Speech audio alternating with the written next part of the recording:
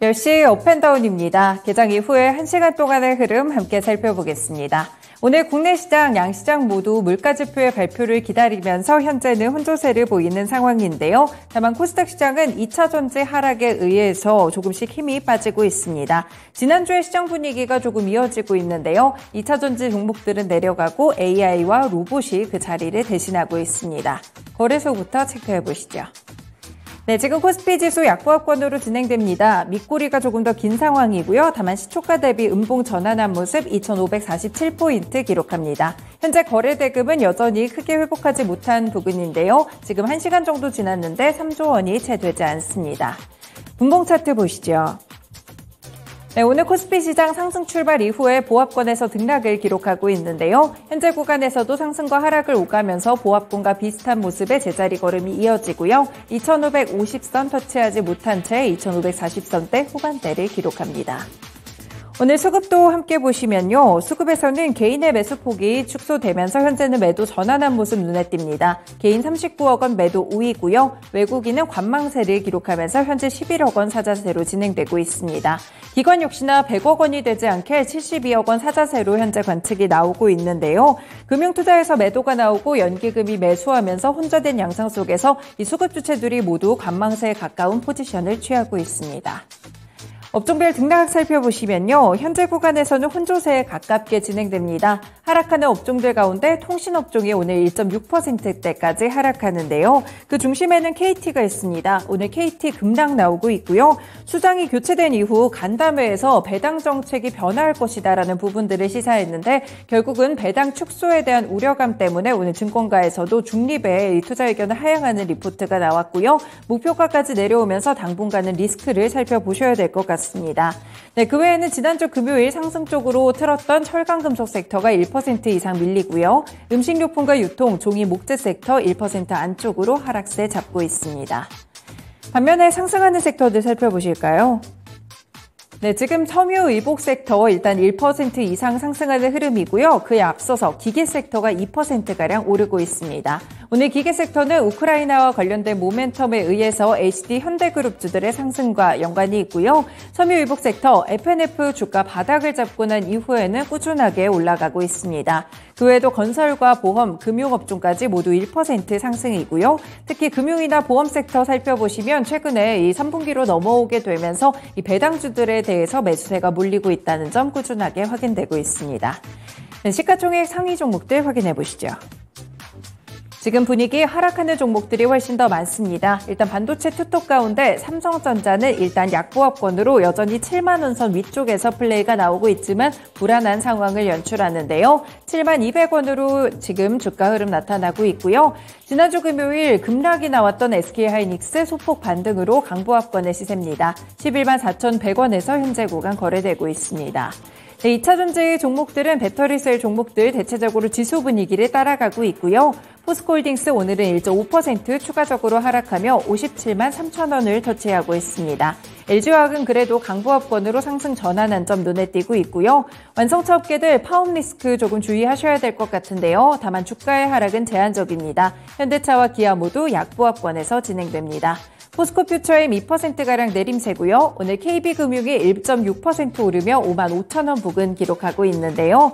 KB금융이 지금 대형 은행주들 사이에서도 순이자 마진이 상당히 좋다고 합니다. 이런 기대감 덕분에 오늘 증권가에서도 목표가를 높였고 KB금융 함께 올라가는 모습 연출하고 있습니다. 그외 현대모비스, 셀트리온, 카카오는 현재 하락으로 진행됩니다. 넘어가서 특징주 살펴보시죠. 네, 주말 중에 G20 정상회의 내용들이 또 상당히 중요했는데요. 윤석열 대통령이 현지 시간으로 10일 G20 정상회의에 참석한 가운데 러시아와 전쟁 중인 우크라이나에 대해서 23억 달러에 달하는 추가 지원 계획을 발표했습니다. 윤 대통령은 내년에는 인도적 지원을 포함한 무상 개발 협력이나 국제금융기구를 통한 지원 등 3억 달러를 추가로 지원할 계획이고 이 중장기적으로는 20억 달러 규모의 패키지를 마련해서 재건을 적극적으로 돕겠다라고 이야기했는데요. 그러자 재건 관련 종목들 시간에서도 나쁘지 않은 흐름을 기록했었는데 현재 구간 다시 한번 상승합니다. 특히나 그 중간에는 HD 그룹주들이 있다고 살펴보실 수 있겠고요. 현재 HD 현대가 10% 이상의 급등세로 74,300원 구간 HD 현대건설기계 9% 급등합니다. HD 현대 인프라코어도 7% 상승 흐름이고요. 그 외에도 삼부토건이 8%대 오르면서 탄력을 붙여나가고 있고 SY 중간에 잠깐 음봉 전환한 모습들도 있었지만 현재는 다시 16% 급등세를 기록합니다. 6,060원으로 진행되는 가운데 SY와 관련돼서는 사우디아라비아와 관련돼서 단독 이런 보도까지도 살펴보시면요. 개별적인 모멘텀도 함께 보유하고 있습니다.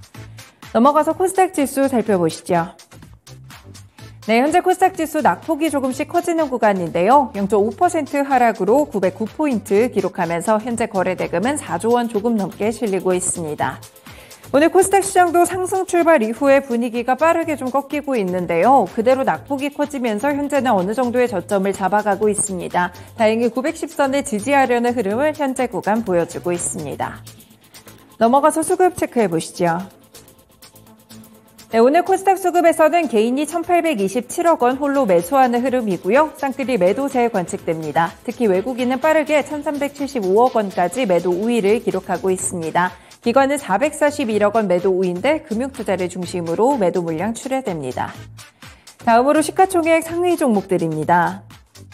네, 지금 혼조세로 진행되고 있는데요. 역시나 오늘 코스닥 지수가 하락하는 이유는 에코프로 그룹주들을 포함해서 2차전지 소재 섹터 되겠습니다.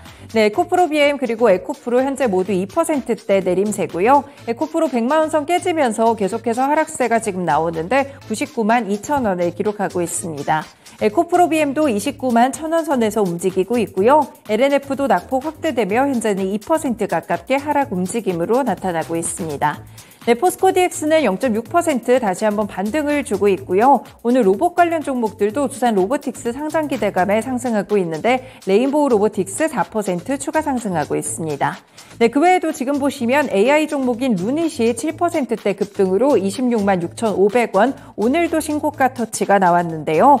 의료진의 유방암 검진 과정을 인공지능으로 대체할 수 있다는 루닛의 연구 결과가 글로벌 학술지에 게재됐다는 모멘텀이 발생했습니다. 꾸준하게 모 멘텀이 나오면서 의료 AI 종목들 받쳐주고 있는데요. 루닛에도 확실히 대장주만큼 이렇게 상승세가 계속 이어진다는 점 체크해 보실 수 있겠습니다. 엔터주들 흐름 엇갈리는 가운데 SM이 0.8% 상승이고요. 그 아래쪽으로 반도체 종목들은 하락세를 이어갑니다. HP, SP, 리노공업 모두 3에서 4%가량 내림세를 보여주고 있습니다. 넘어가서 특징주 체크해 보시죠.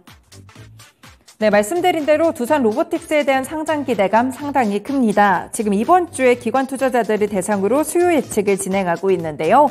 이제 적정 주가가 희망 공모가 범위 상단을 초과할 것이라는 보고서가 나왔습니다. 메리츠 증권의 리포트였고요. 연평균 54%의 성장이 기대되는 기업이라고 소개하기도 했습니다. 현재 적정 주가를 2만 9천 원으로 제시했는데 이는 희망 공모가 범위 대비 높은 금액이고요. 이렇게 된다면 기업 가치가 1조 9천억 원까지 올라갈 수 있겠죠. 그래서 오늘 두산이 굉장히 큰 폭으로 상승합니다. 25% 급등하며 14만 5,900원 기록하고 있고요.